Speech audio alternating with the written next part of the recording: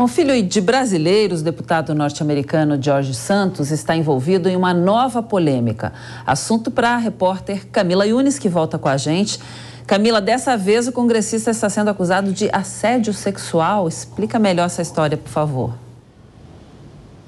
Pois é, Cláudia, mais uma denúncia envolvendo o parlamentar norte-americano, filho de brasileiros. E essa denúncia de assédio sexual parte de um ex-auxiliar, Derek Meyers, né, que fez esta denúncia na última sexta-feira através das redes sociais. No Twitter, ele publicou falando que tinha feito um boletim de ocorrência na polícia do Capitólio e também tinha feito uma reclamação no Comitê de Ética do Congresso a respeito de violações éticas e também de assédio sexual contra o parlamentar, né? Que ele não trabalhou durante muito tempo com George Santos, ele trabalhou como voluntário durante um curto período, né, no gabinete de George Santos, estava esperando ser efetivado, mas acabou não sendo efetivado. Ele disse nessa denúncia que no dia 25 de janeiro estava no escritório de George Santos a sós com o parlamentar quando Santos questionou Meyers se ele estava, se ele teria, né, um perfil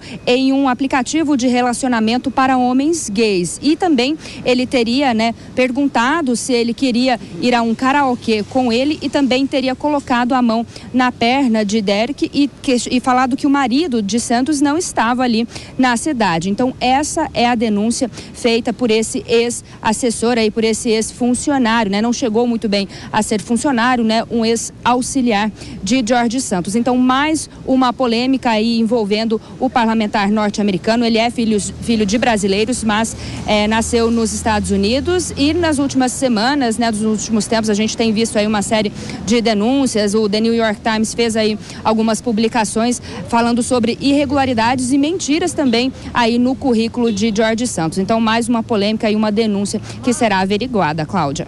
Obrigada, Camila, pelas suas informações. Até mais tarde.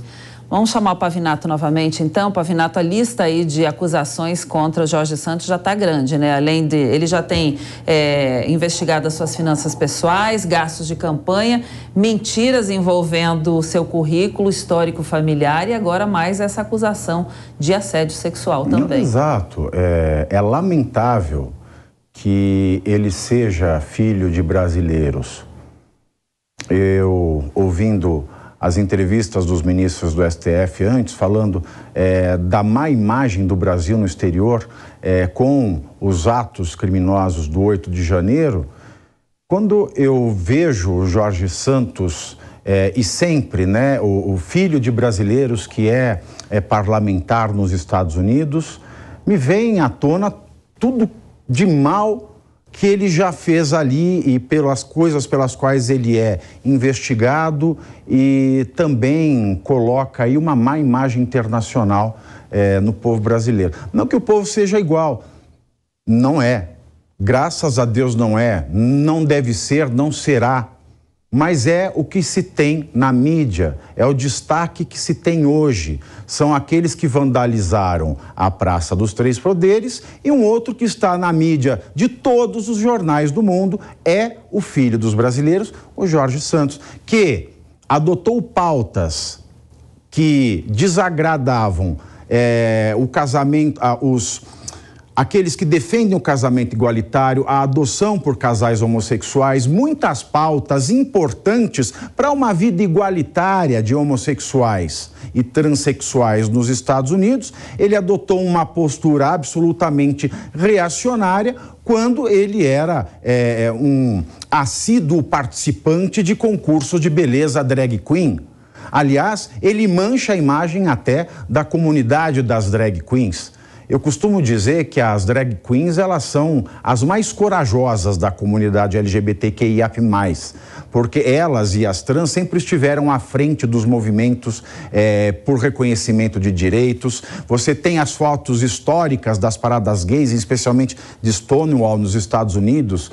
É, quem está sempre à frente é um transexual, é uma drag queen. Então, quando a gente vê que esse sujeito que defende coisas e faz coisas asquerosas, que ele foi e concorreu, é, deve ter perdido todas, né? Porque a beleza também não é algo é, que o premiou nessa vida. Ele é feio por dentro e por fora. Ele foi drag queen aqui no Brasil, participou de concursos, mentiu no currículo descaradamente, é investigado por malversação é, de verbas de campanha e agora aparece aí a notícia que coloca a cereja em cima deste bolo de fezes, que é a carreira, que é é, a imagem deste parlamentar americano, que é o assédio sexual, que é avançar sexualmente ou com intenção de obter algum favor sexual, de satisfazer a sua lascívia com o funcionário, convidando para ir ao karaokê, alisando a sua perna, fazendo perguntas que não se faz a um empregado, a um subordinado então, isso mostra que está na hora de republicanos e liberais ejetarem do parlamento norte-americano uma figura tão bizarra quanto Jorge Santos.